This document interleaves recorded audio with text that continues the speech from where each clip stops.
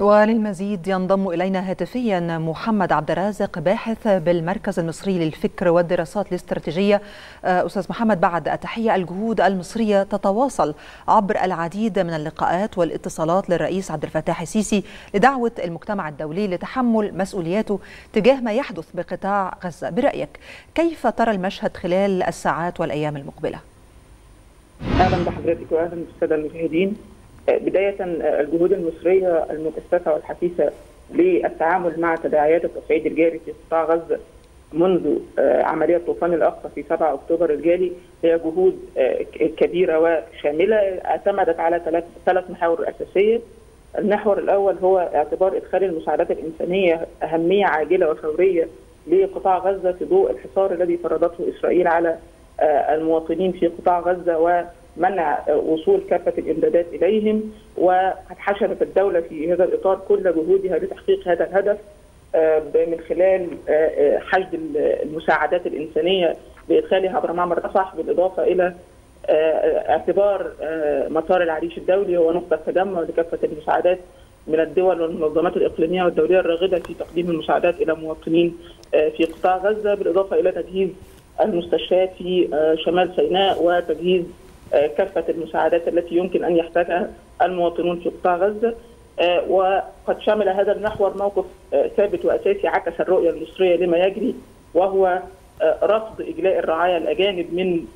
قطاع غزة إلا بعد إدخال المساعدات أو أن يعمل معبر رفح في الاتجاهين لإدخال المساعدات إلى قطاع غزة مع إجلاء الرعايا الأجانب من القطاع. المحور الثاني هو تأكيد الرفض القاطع لتصفية القضية الفلسطينية. من خلال الاستهداف الغاشم الإسرائيلي للمواطنين الفلسطينيين في قطاع غزة سواء من خلال دفعهم إلى النزوح إلى منطقة وادي غزة أو إلى جنوب غزة أو بهدف تهجير مواطني غزة بعد ذلك إلى سيناء أو أو ما شابه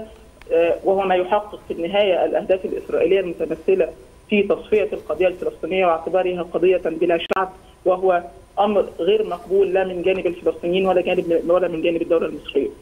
أما المحور الثالث فهو تكثيف الجهود الرامية إلى وقت مستدام لإطلاق النار وحشد الجهود الدولية لاستئناف عملية السلام وهو ما يتمثل في منذ اندلاع التصعيد في الاتصالات المكثفة التي أجراها المسؤولون من الدول الإقليمية والدولية مع والقوى الإقليمية والدولية مع القيادة المصرية متمثلة في الرئيس عبد الفتاح السيسي وكذلك وزير الخارجية سلمى الشكري باعتبار أن الإدراك المتنامي لدى هذه القوى بأن صحيح. اسمح لي أستاذ محمد يمكن وبالحديث عن الجهود الدولية العديد من الجهات الدولية رحبت بدعوة مصر لعقد مؤتمر دولي لبحث وضع حل من منظور شامل للصراع في الشرق الأوسط كيف ترى فرص هذا المؤتمر وتقييمك لما حظي به من دعم الدعوة التي صدرت عن اجتماع مجلس الأمن القومي المصري بالأمس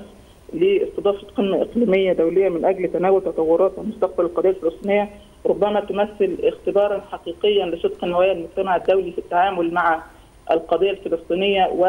ومعالجة المسببات الأساسية لجولات التصعيد المتوالية وصولا إلى الجولة الراهنة. ربما بادرت عدد من الدول في الترحيب بهذه الدعوة التي صدرت عن دولة لأنها صدرت عن دولة بحجم مصر تمتلك دورا محوريا وازنا في كافة مفردات القضية الفلسطينية ومن ثم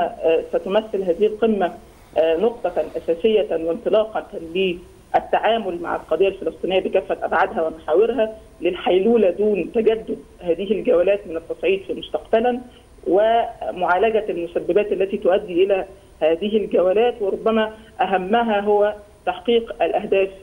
وتطلعات الشعب الفلسطيني بإقامة دولته. ليس من المتوقع أن تكون الطريق إلى هذه تحقيق هذه الأهداف سهلة ولكن الدعوة إلى هذا المؤتمر وعقد هذا المؤتمر بالقاهرة وربما بحضور مسؤولي ورؤساء الدول الكبرى ومنهم الرئيس الأمريكي جو بايدن ستمثل خطوة أساسية لتحقيق هذا الهدف. صحيح. جزيل الشكر لك أستاذ محمد عبد الرازق باحث بالمركز المصري للفكر والدراسات الاستراتيجية. كنت معنا عبر الهاتف.